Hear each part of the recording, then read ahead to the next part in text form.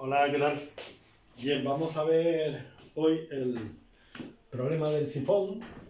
El sifón es un sistema que, eh, bueno, básicamente es cuando tenemos un depósito de agua muy grande, muy pesado y queremos sacar agua y no existe la posibilidad de colocar aquí debajo ningún tipo de llave o orificio, pues con una manguera se coloca en la parte, se mete dentro del depósito y se saca con esta forma de U invertida.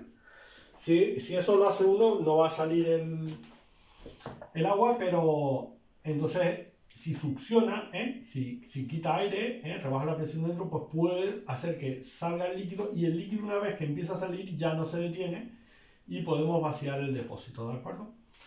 Esto pues es lo que se usa cuando un señor eh, te vende vino, ¿no? Y tiene una garrafa enorme, para no estar volcando la garrafa, pues usa una manguera y hace eso y llena el, la botella de vino, ¿vale? La botella la colocarían aquí. O también lo que se hacía antes para sacar gasolina del... Bueno, eso no debería ni comentárselo, pero. Del tanque de un coche, ¿vale? Que era con una manguera así, pues así se puede sacar, con mucho cuidado, claro, para no beber gasolina. Aunque alguno dirá, hay por ahí algunos licores que son hasta mejores que la gasolina, menos fuerte. Bueno, en fin, sin comentarios, ¿vale? Eh, esto sería, pues, el, el problema del sifón, ¿vale? Entonces es bastante curioso porque si uno, si esto lo analizamos, porque aquí, por supuesto que aquí dentro está la hidrostática, está quieto todo el líquido dentro del depósito, pero aquí se está moviendo, ¿no? Entonces, eh, le he puesto una atmósfera de presión y la densidad del agua. Entonces, el problema dice que calcule por la presión en 1, que parece un punto interesante, y la velocidad de salida. Pues si nos fijamos, aquí en la superficie del líquido tiene energía potencial, podemos poner el origen de altura. Bueno, como estamos siguiendo, podemos poner el origen de altura aquí. Uy, aquí se me ha olvidado colocar la altura, que estos son 5 metros. Vale, estos son datos del problema, ¿vale? Y aquí eh, un metro, ¿vale? Bien, si uno coloca aquí el origen, bueno, aquí está toda la energía potencial, lo que hago es que gana energía cinética y gana energía potencial, entonces va a perder presión. Va a perder presión para llegar aquí, para luego conservando la energía cinética, porque la sección de la cañería es constante, y va a perder energía potencial y lo que va a hacer es que va a ganar presión hasta que va a salir aquí a la presión atmosférica, ¿vale? Bien, entonces, como siempre, Bernoulli se toma dos puntos. Al final es cualquier cosa que vean de este, si el líquido se mueve, se usa Bernoulli, ¿vale? Bien. Si tomamos los dos puntos de Bernoulli, vamos a tomar el punto 1 aquí, lo voy a marcar aquí en rojo para que quede más. Y aquí voy a tomar el punto 2 para Bernoulli, ¿vale? 1 y 2, la salida. ¿Por qué 1 y 2? Porque de 2 conozco, pues eh, todo, menos la velocidad, y, y de no, uno, eh, perdón, uno voy a tomar, que no conozco la presión aquí, la superficie del tanque, me confundió. ¿eh? Y como esto lo he llamado uno, voy a llamarlo, no, quizás lo cambio porque voy a ligarlo, vamos a llamar a este 3, ¿vale? Que ya me he equivocado. 3 la superficie, porque fíjense que el punto este de aquí arriba no conozco la presión, que es lo que me está pidiendo luego en uno, ¿vale? Pero aquí sí la conozco porque sé que está una atmósfera. La superficie conozco la energía potencial. Me interesa el 3 y el 2. Si uso Bernoulli entre 3 y 2, pues lo escribo Bernoulli, peso 3 menos peso 2, más un medio de rho, V3 al cuadrado menos V2 al cuadrado, más rho G, H3 menos H2 igual P 3 es una atmósfera y P 2 es una atmósfera, se nos va a ir la presión atmosférica. Ojo, no pongan 1 menos 1 nunca, sino 10 elevado a 5 menos 10 elevado a 5 si van a poner números. En 3 está quieto el agua, asumimos que el, depósito es muy grande en comparación a la pérdida.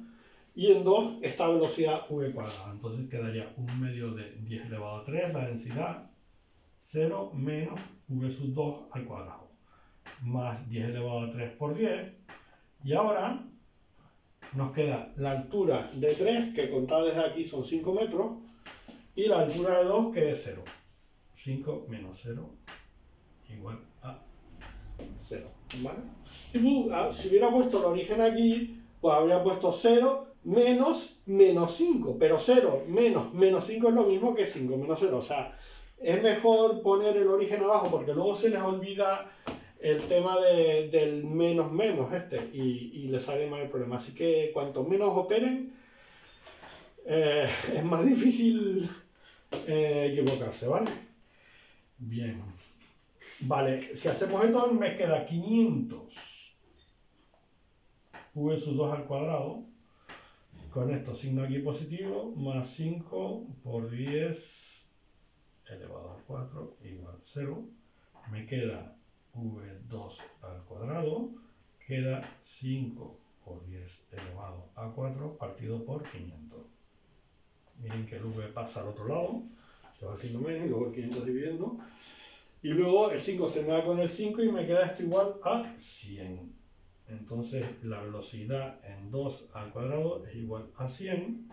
La velocidad en 2 es 10 metros por segundo. ¿Vale? 10 metros.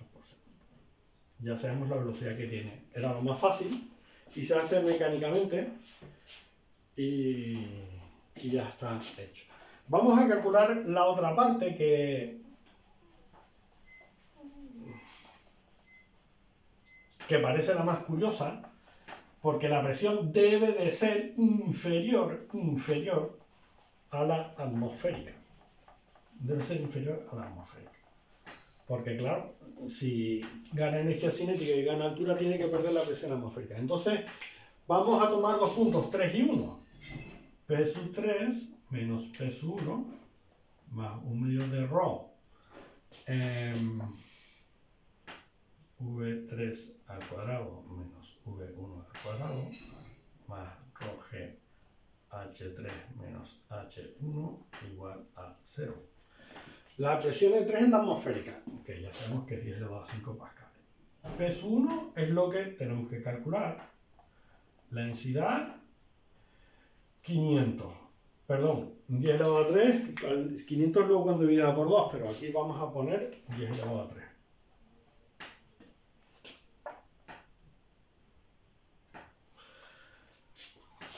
La velocidad en 3 es 0, porque es la superficie del tanque. Y la velocidad en 1 es v. v. v que tengo aquí, v es 1, que es lo mismo que v porque es sección constante. Más 10 elevado a 3 por 10. Y luego tengo h3, que como tengo el origen aquí sería 5 menos h1 que serían 6. ¿Vale? 5 menos 6 igual a 0. Si cambio el origen lo pongo aquí, me quedaría 0 menos 1. Pero 0 menos 1 es lo mismo que 5 menos 6. No siempre. Pero bueno, vamos a tomar eh, siempre los, los, orígenes así. Pues si... Ah, el...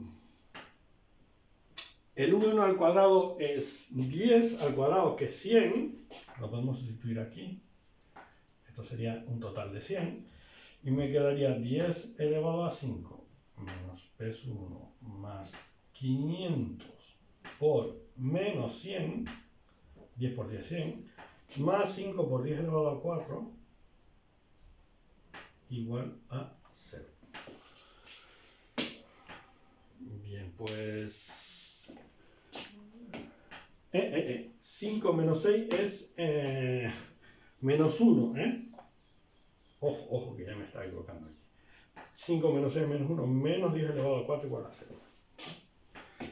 10 elevado a 4, 5 menos 6 menos 1, menos 10 elevado a 7. ¿Está todo bien? Sí. A ver. Entonces vamos a seguir escribiendo aquí.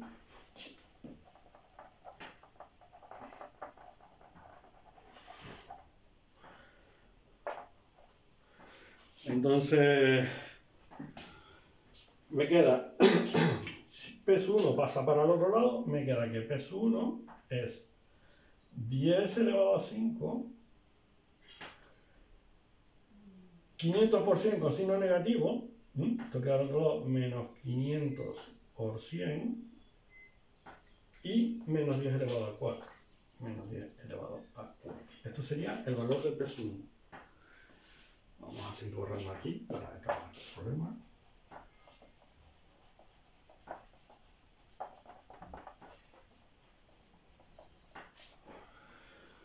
Pues sería PS1, 10 elevado a 5, menos, sería 5 por 10 elevado a 4, menos 10 elevado a 4, y esto sería 10 elevado a 5, menos 6 por 10 elevado a 4, que es 0,4 por 10 elevado a 5, si no me he equivocado. 0,4 por 10 elevado a 5 pascales, que es 0,4 atmósferas. Miren que ha bajado la presión bastante, 0,4 atmósferas, ¿vale? Es decir, si uno pincha aquí, entraría aire, no saldría el líquido, claro, porque es que el líquido está aquí a una atmósfera, quieto, y luego gana energía cinética y gana altura, tiene que perder mucha presión. ¿Vale? Y luego es así, y luego va ganando toda esta, de la 0,4 atmósfera, como la energía cinética es constante, toda esta trayectoria lo que hace es que va, al perder altura, va ganando la presión, y de 0,4 llega hasta, pues, la atmósfera. Fíjense que el sifón, no pueden funcionar todos los sifones. Si uno toma cuando el señor que vende vino eh, quiere acabar rápido, pues agacha más y sale más rápido el vino, claro, porque si tú bajas esta distancia, aumentas la velocidad. ¿De acuerdo? Pero si aumentas la velocidad, aumenta el término aquí cinético y al subir la parte del sifón pierde todavía más presión, porque le ha restado más el término este, vean que el 10 al cuadrado que 100 aquí, le está restando 10 elevado a 5, va a perder más presión. También si subo la manguera del sifón hacia arriba, pues cada vez va a perder más presión. Entonces, ¿puede funcionar un sifón en cualquier tamaño? No. Sube porque la atmósfera empuja hacia abajo una atmósfera. Y recuerden que una atmósfera son un rojeache de 10 metros. Es decir, si uno sube el punto de salida, cada vez sale más despacio el líquido. Pero nunca va a poder tener una altura, la altura está que es de un metro, nunca va a ser 10 metros porque 10 metros es una atmósfera de presión, no tenemos atmósfera para que llegue arriba. Es decir, el sifón no va a salir líquido si este 1 llega a valer 10 metros. Luego, si esto lo bajamos también mucho, pues puede un momento en que no funcione. Es no van a funcionar todos los sifones por la conservación de la energía, ¿de acuerdo? Siempre piensen en esto. Y va a salir líquido porque esto está por debajo de esto. Si el tubo lo suben por encima de este nivel, no va a salir el líquido, ¿vale? Porque no tiene, está saliendo porque está transformando la energía potencial en cinética. No se olviden de eso, de siempre el tema energético. No hay manera de resolverlo de otra forma, los fluidos. Sí, aquí no, porque estamos en una zona muy montañosa, pero en Madrid, por ejemplo, si se fijan, está, aquí están los edificios, la zona esta de la Castellana, esta que tiene las torres estas así modernas y todo esto. Verán que tienen que poner depósitos de aguas para la población, pero tienen la manía, que no es ninguna manía, de poner una especie de tanques cilíndricos en unas torres muy altos. Entonces esto lo van rellenando de agua y lo van distribuyendo el agua. Siempre tiene que ser para que el agua aquí dentro tenga un H por encima de las partes más altas del edificio, porque si no el señor que está en el último piso, al abrir el grifo no le va a salir el agua. Porque toda esta energía potencial la tiene que transformar en presión para luego tenerla suficientemente, no en energía cinética, porque la cañería no varía, ¿eh? no varía, sino la tiene que tener presión para que luego tenga la suficiente presión para que, le llegue a la parte arriba del piso. Si hay algún edificio que esté más alto que la torre de agua, no le va a llegar aquí el agua. Tendrá que tener un depósito en el techo, otro tipo de sistema. Pero siempre la conservación de energía. Y eso sin el rozamiento, ¿eh? Eso sin el rozamiento. Pues nada, venga.